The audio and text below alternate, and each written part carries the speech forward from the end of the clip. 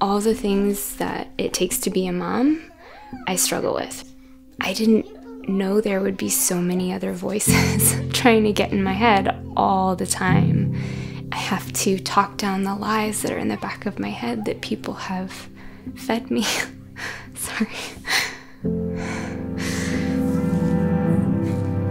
The truth is, it's okay for me to still be learning what it means to be a mom and how to be a mom and what I want out of motherhood. And all I can do is give my best every day.